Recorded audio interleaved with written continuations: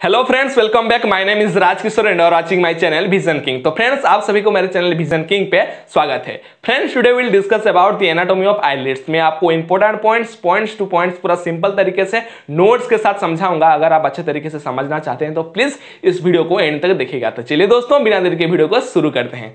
Okay तो friends देखिए the edge of the eyelid is called eyelid margin ठीक है फ्रेंड्स हमारे आईज में दो तरह के आईलिड होते हैं। एक हो गया हमारा अपर आईलिड एंड दूसरा हमारा जो नीचे है, उसको हम कहते हैं लोअर आईलिड ठीक है फ्रेंड्स तो फ्रेंड्स ये जो आईलिड से इसके जो एज है ना, ठीक है, ये जो एज है, इसको हम कहते हैं eyelid margin clear the edge of the eyelid is called eyelid margin clear next The space between upper and lower eyelid is known as palpebral fissure when eyelids are open. ठीक है friends जब भी हम आँख को खुले रखते हैं, ठीक है? अभी देखिए मेरा आँख खुला है ना? तो फ्रेंड्स ये जो अपर एलिड एंड लोअर एलिड के बीच में जो स्पेस है, ठीक है? ये स्पेस को हम कहते हैं palpebral fissure the space between upper and lower eyelid is known as palpebral fissure when eyelids are open clear अब next place where upper eyelid and lower eyelid meet together is known as canthus the medial canthus is point nearest to the nose and the lateral canthus is nearest to the temple तो friends देखिए हमारा जो ये eyelids है ये दो points में जाके मीट करते हैं एक हो गया हमारा लेफ़्ट कॉर्नर पे एंड दूसरा हमारा राइट कॉर्नर पे क्लियर फ्रेंड्स तो फ्रेंड्स जो ये दोनों जाके जहाँ पर मीट करते हैं, ये अपर एलिड एंड लोअर एलिड जहाँ पर जाके मीट करते हैं, उसी पॉइंट को हम कहते हैं कैंथस ठीक है फ्रेंड्स तो फ्रेंड्स जो कैंथस हमारा नोज़ की तरफ़ नाजल साइड में होता है, उसको हम कहते हैं मीडियल कैंथस एंड जो कैंथस हमारा लेटरल साइड टेम्परल साइड में होता है, उसको हम कहते हैं लेटरल कैंथस क्लियर फ्रेंड्स देखिए place where upper eyelid and lower eyelid meet together is known as canthus the medial canthus is the point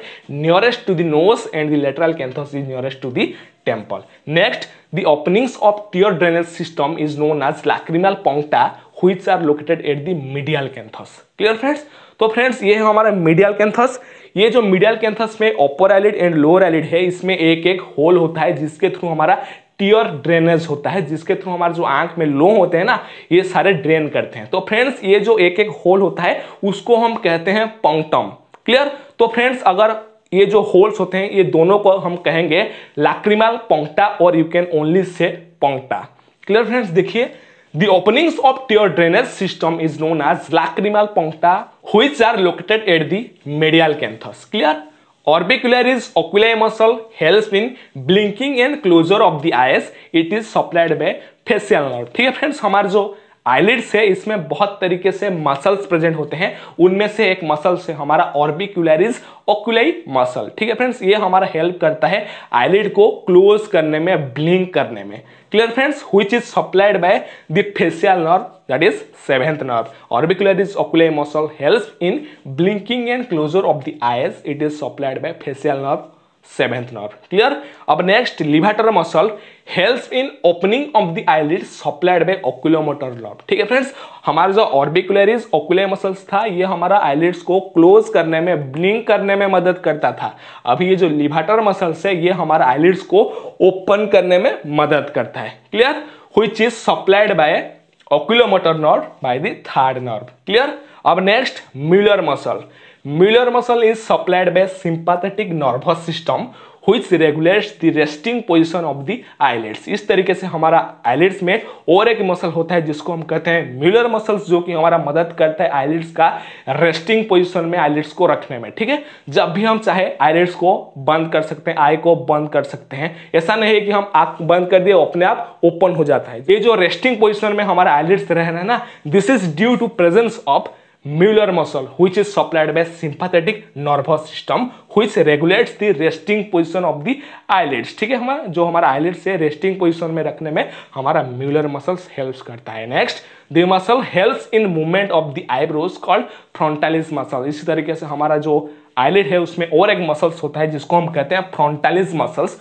जो कि हमारा ये जो आईब्रोज है, इसका मूवमेंट करने में मदद करता है। ये जो हम ऊपर नीचे कर सकते हैं, कोई कोई बंदे होते हैं, पूरा आईब्रोज को इस तरीके से मूवमेंट कर सकते हैं। ये जो आईब्रोज को जो मूवमेंट करने में जो मसल मदद करता है, उसको हम कहते हैं फ्रंटालिज मसल्स अब next tarsal plates tarsal plates are made up of thin fibrous tissue which helps in maintaining the shape of the eyelid ठीक है फ्रेंड्स ये जो हमारा टॉर्सल प्लेट्स है, ये हमारा थिन फाइब्रस टिश्यूज से बनी होती है, जो कि हेल्प्स करता है हमारा जो आईलिड है, उसका शेप एंड साइज़ हमेशा मेंटेन रखने में। क्लियर अब नेक्स्ट हमारा जो आईलेट है, इसमें तीन तरीके ग्लैंड होते हैं, ठीक है? Three types of glands they are are present in our eyelids first one that is माइमियन glands second Zeis glands and third one that is glands of Moll ठीक है फ्रेंड्स ये तीन ग्लैंड्स हमारे आईलिड में प्रेजेंट होते हैं। तो friends first that is meibomian glands they are present in the eyelid margin second Zeis glands they are present on the base of the eyelashes